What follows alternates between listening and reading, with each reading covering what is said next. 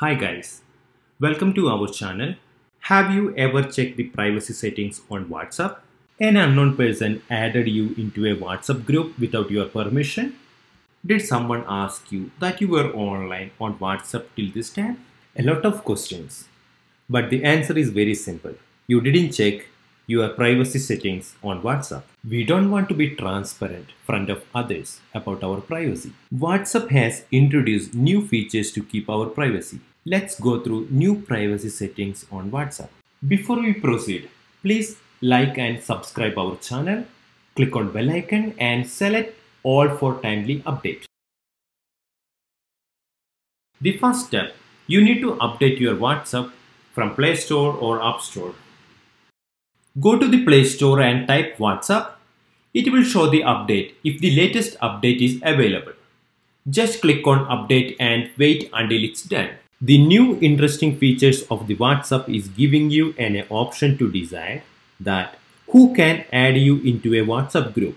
Now your WhatsApp has been updated to the latest version. Click open.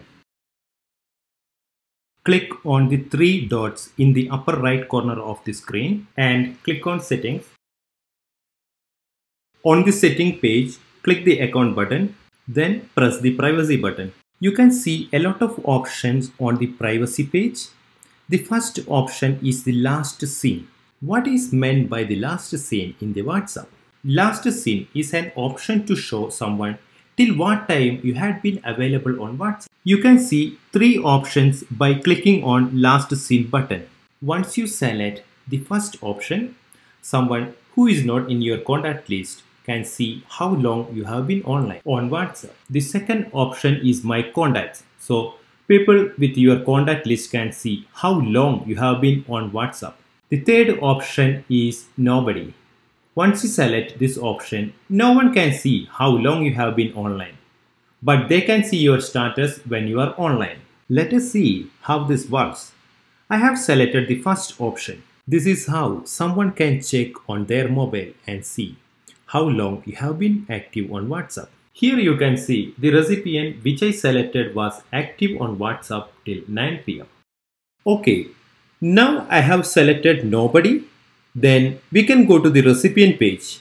We can see the recipient status was online, but we can't see till what time the recipient was online. Profile photo is the second option on the privacy page. When you tap on the profile photo, you can see three options. The first option is to select everyone.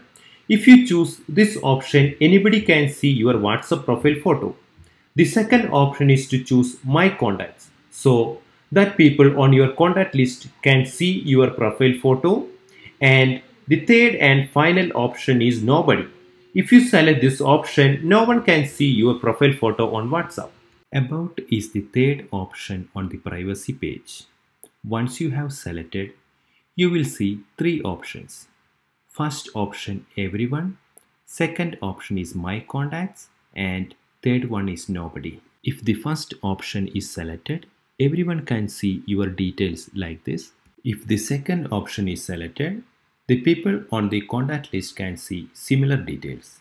If you select nobody, your screen will be displayed to the recipient like this without your information. Status is the fourth option on the privacy page. Once you have clicked the status, you will see three options. First option is my contact recipient from your contact list can see whatever you have updated as your status. The second option, My Contact Except, which means you can hide your status from one or more people from your contact list. Third option, allow you to share your status with one or more people. Technically, second and third option almost same, but less time consuming to select people from your contact list according to your needs. Read receipt is the fifth option on the privacy page. There is only option to turn on or off the read receipt. Let's see what happens once read receipt turns off. These two tick marks are the confirmation that the message I sent was delivered there. But I cannot see whether the message I sent was read by recipient since I turned off read receipt in my mobile. Similarly, they may not understand that you have read what they sent you. Now I have turned on the read receipt option. Let me send a message as before. Here we can see two gray shaded tick mark. Now it has changed into blue color, which means the message which I sent read by the recipient. Once the read receipt option is turned off, you will not be able to understand that the message you sent is read by recipient. Also, they may not understand that you read the message sent by them. Group is a new feature on WhatsApp. Previously, anyone could add us to any group without our permission. Once we click on the group, we can see three options. The first option is anyone. If you choose this option, anyone can add you into a group without your permission. The second option is my contact. Once this is selected, someone on your contact list can add you into any group without your permission. The third option is my contact except, which means you can select one or more people. Otherwise, you can select all people from your contact list. If anyone from that list want to create a group, they have to send a private invitation. Once you accept that invitation, they can add you into that group. Live location is the seventh option on the privacy page. What does it use or how does it work? Click on live location.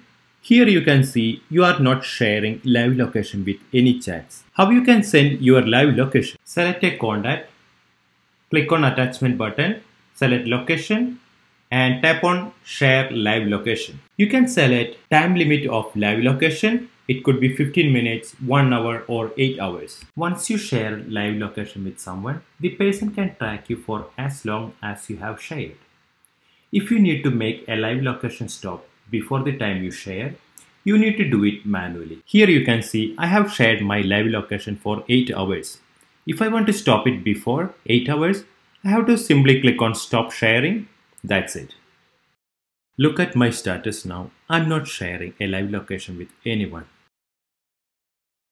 Blocked contact is the eighth option on the privacy page.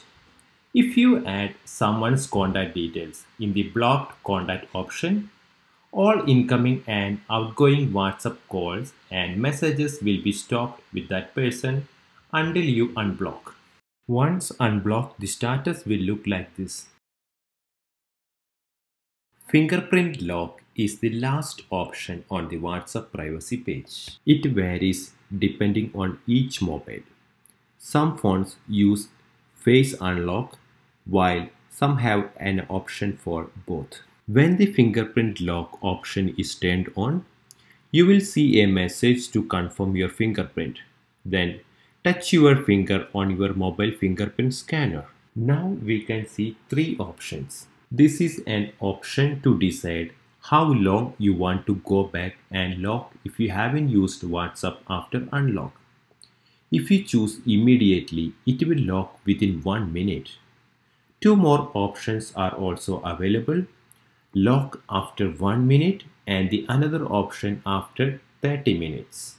Another option is to show content in notification.